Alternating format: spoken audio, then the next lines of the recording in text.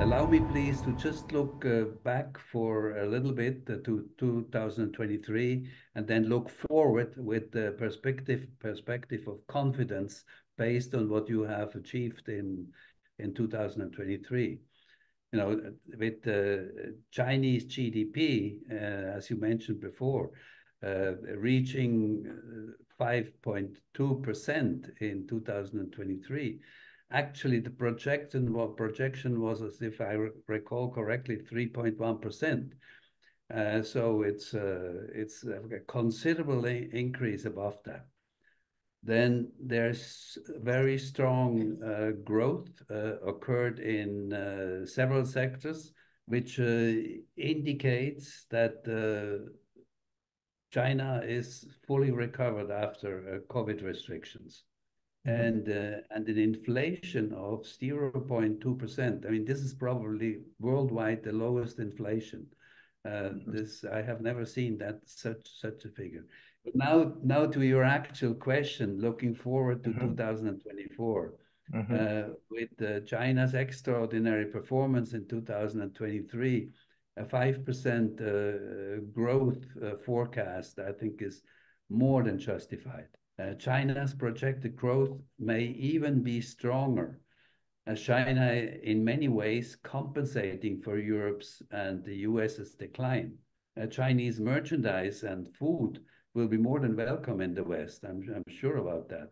And yet another reason for China's socioeconomic prosperity to to come is the ever forward-moving Belt and Road. You know, I'm a big fan mm-hmm. of the Belt and Road, and I've always been and continue to be, which is, uh, from my point of view, the one economic development initiative that spans the world and spans the world peacefully. And the West is silent about it. You know, they know why. They don't like it. Uh, uh, eh, they would even sanction Western countries taking part in it, as you know, like Italy. Uh, finally, uh, another Chinese initiative, uh, the world's largest free trade agreement, the Regional Comprehensive Economic Partnership, the RCEP, is an engine for growth. And it's expanding rapidly, which not only contributes to China's growth, but also to, to a decreasing China's dependency on the West. I would say, in conclusion, the 5% projected growth for 2024 is a well-justified forecast, mm-hmm. probably quite conservative. Uh, since there is also the expansion of the BRICS that will mm-hmm. have an impact on China's and Russia's uh, growth potential, as trade will expand within the BRICS. Yes, I think there's going to be political pressure from the West uh, that continues, Uh, depending, of course, who will become the next president. I think the U.S. will most likely continue using Taiwan to provoke ah. and deviate uh, China's attention from their mainland and international cooperation objectives, but not successfully, because hmm. the U.S. does not dare risking a hot war over, hmm. despite recent uh, election results in, in, in Taiwan, a majority uh, of of Taiwanese would like to accelerate formal integration into uh, into mainland China because of security. On the other hand, uh, China is pursuing a defense strategy of peace, really. And China has actually never been, and there's no reason to even assume um, an expansionist countries like like the U.S. or other other countries. It's a peaceful country. Instead, uh, China will take a path of peaceful development, uh, which is uh, quite different from the approaches of some Western countries, particularly the U.S., which is still adamant in pursuing global hegemony, despite its ever more visible downfall. You know, this is also not deniable. Now, could this open, peaceful approach to international, to internal as well as international development pose a challenge to China's growth targets? I don't think so. Uh, we know and see it almost on a daily basis how Western wannabe powers, meaning especially uh, Europe, are uh, repeating sanction programs uh, against um, Russia and against China just because Washington wants it, not because necessarily they benefit from it. The contrary, actually, they suffer a lot uh, from them, but uh, they follow still the dictate of Washington.